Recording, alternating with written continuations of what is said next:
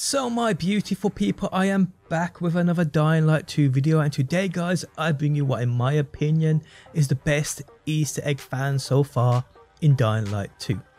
How's it going guys, my name is DPJ and if you do enjoy the video, leaving a like really helps out and if you like what you see and want to see more, be sure to subscribe and turn those notifications on so you never miss a video. Okay, so you guys have got to have seen the CGI cinematic trailer for Dying Light 2. If you haven't, check it out on screen now. It's a pretty badass one.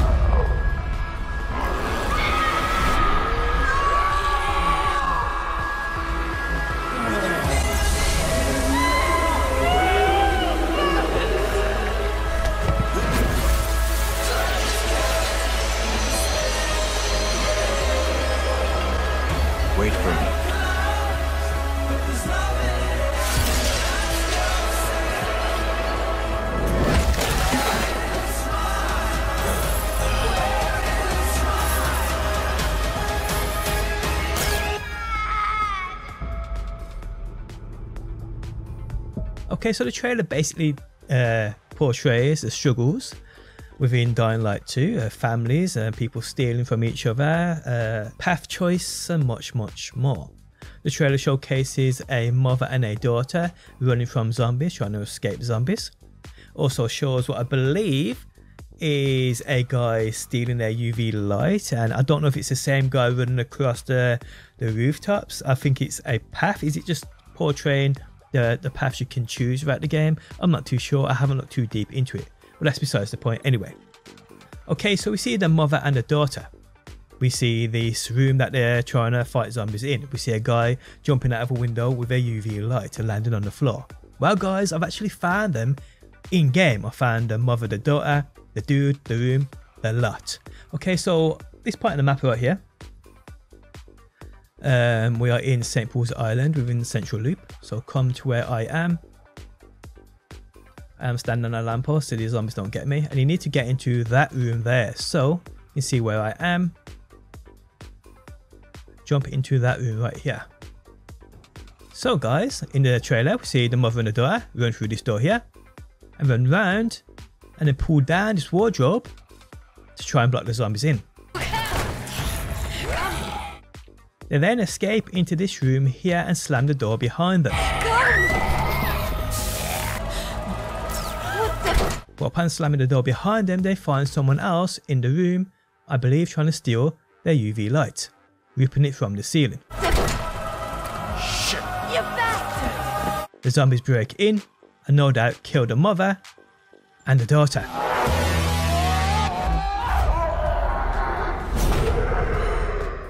Yet they're here. Pretty cool.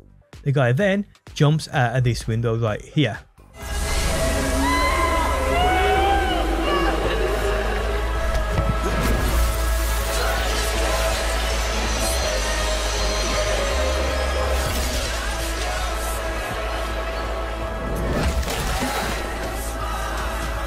Okay, so the guy, like I said, we saw, jumped out of this window right here. Interesting enough, guys, he's actually down there on the floor. How epic is this? The lights next to him and all sorts. Now we'll take out these zombies so we can have a proper look. How cool is that, people? Something else I just spotted as well, guys. The attention to detail is incredible here. Check this out. If you look in closely on his face, you can see the scar there, or the, the, the actual cut, which we actually know